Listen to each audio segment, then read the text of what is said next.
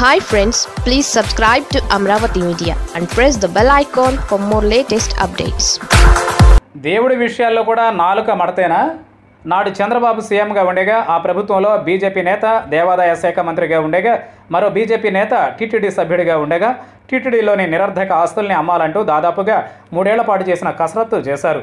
నాడు కేంద్రంలో అధికారంలో ఉన్నది కూడా బీజేపీనే అన్న సంగతి కాసేపు పక్కన పెడితే రెండు వేల పదిహేను జూలై ఇరవై ఎనిమిదిన జరిగిన టీటీడీ బోర్డు సమావేశంలో నిరర్ధక ఆస్తుల విక్రయాలపై చర్చ సాగింది. తక్కువ విస్తీర్ణంలో ఉన్న భూముల్ని అమ్మడమే మంచిదని అప్పటి టీటీడీ బోర్డు భావించింది. రెండు వేల పద్దెనిమిది మార్చి ఇరవై ఎనిమిదిన ఈవో తిరుపతి జేఈఓ ఎస్టేట్స్ ఆఫీసర్లు సమావేశమై నాలుగు కేటగిరీలో ఉన్న ఆస్తుల గురించి సమీక్షలు జరిపారు. మొత్తంగా టీటీడీ ఆస్తుల్ని బహిరంగ వేలం ద్వారా అమ్మాలని నిర్ణయించారు. అంటే నేడు వైకాపా ప్రభుత్వ సమయంలో జరుగుతున్న టీటీడీ భూముల అమ్మకానికి సంబంధించి నిర్ణయాలన్నీ నాడే జరిగిపోయాయి అన్నమాట. ఈ విషయంలో ప్రస్తుత బీజేపీ రాష్ట్ర అధ్యక్షుడు కన్నా లక్ష్మీనారాయణ అయితే జగన్ సర్కార్పై తీవ్ర ఆరోపణలు గుప్పించారు. దీని వెనుక హిందుత్వంపై కుట్ర దాగి ఉందనే అనుమానం ఉందని వ్యాఖ్యానించారు. టీటీడీ విషయంలో ప్రభుత్వ వైఖరిపై బీజేపీ రాజీ లేని పోరాటం చేస్తుందని స్పష్టం చేస్తున్నారు.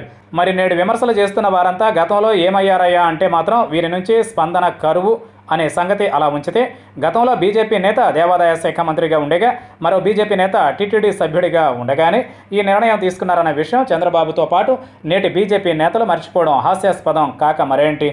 నేతలంటే మారిన పార్టీలకు అనుగుణంగా మాటలు మారుస్తూ ఉంటారు. కారణం నాలుకకు నరం ఉండదు కాబట్టి అని సరిపెట్టుకోవచ్చు కానీ గత ప్రభుత్వాలు చేసిన తీర్మానాలు తీసుకున్న నిర్ణయాలు నేటి ప్రభుత్వాలు అమలు చేస్తున్నా కూడా గతంలో తమకు ఇంత జ్ఞానం లేదు. ఇప్పుడే కొత్తగా వచ్చింది అన్న స్థాయిలో స్పందించడంపై సర్వత్రా విమర్శలు వెల్లువెత్తుతున్నాయి.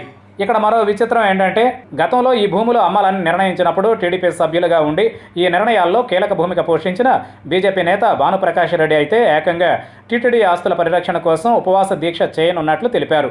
అధికారంలో ఉంటే ఒకలా ప్రతిపక్షంలో ఉంటే మరోలా ప్రజల విషయాల్లోనే కాదు. ఆఖరికి దేవుడి విషయాల్లో కూడా నాలుకలు మడత పెడతారన్న మాట మన నాయకులు అని కామెంట్లు వినిపించడం ఈ సందర్భంగా గమనార్హం.